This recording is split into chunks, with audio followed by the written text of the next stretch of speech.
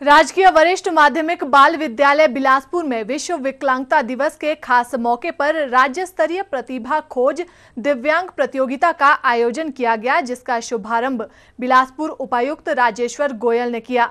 इस प्रतियोगिता के दौरान प्रदेश के 10 जिलों के 500 दिव्यांग बच्चों ने विभिन्न खेलकूद प्रतियोगिता में हिस्सा लिया। कहते हैं, जिनके हौसले बुलंद हो, उनके हुनर को पंख खुद ही लग जाते हैं। समाज में कुछ ऐसे बच्चे भी हैं, जो किसी न किसी कारण के चलते दिव्यांगता की श्रेणी में शामिल हो गए। मगर अपने हौसले के आगे इन्होंने दिव्यांगता को टिकने नहीं दिया। ऐसे ही बच्चों को आगे बढ़ने और कुछ कर दिखाने का मौका दिया युवा सेवाएँ एवं खेल विभाग हिमाचल प्रदेश ने।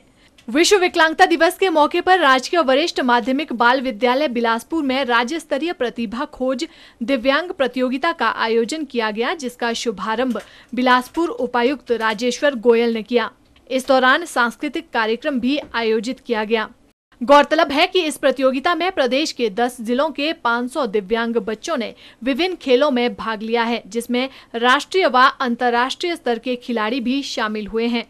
इस प्रतियोगिता के आयोजन के लिए उपायुक्त राजेश्वर गोयल ने खेल विभाग का आभार जताते हुए आने वाले समय में प्रदेश के बेहतरीन खिलाड़ियों द्वारा राष्ट्रीय व अंतर्राष्ट्रीय स्तर पर मेडल जीतकर हिमाचल प्रदेश का नाम रोशन करने की उम्मीद जताई।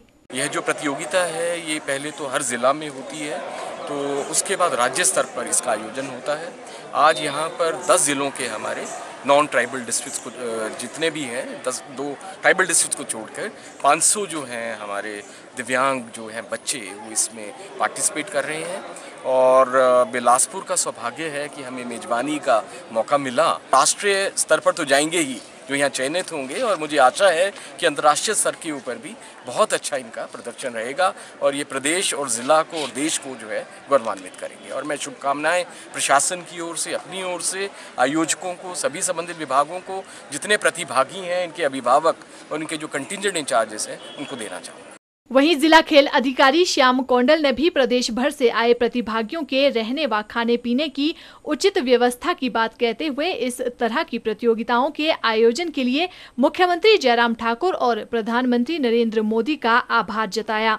बच्चों को बढ़ने का मौका दिया गया है इसमें स्पोर्ट्स में भी और कल्चर में प्रोग्राम में हिस्सा ले रहे हैं बहुत खुश है। और अपना एंजॉय कर रहे हैं और अपनी जो भी दीवानगी, जो भी इनकी जो प्रॉब्लम है, उससे भी उभरते जा रहे हैं सारे। एक हमारे department of government Himachal Pradesh की एक नई सोच है, हिंदुस्तान की नई सोच है। मैं उनका धन्यवाद करता हूँ, प्रधानमंत्री जी का भी और मुख्यमंत्री सिटी चैनल के लिए बिलासपुर से विजय भारद्वाज की रिपोर्ट।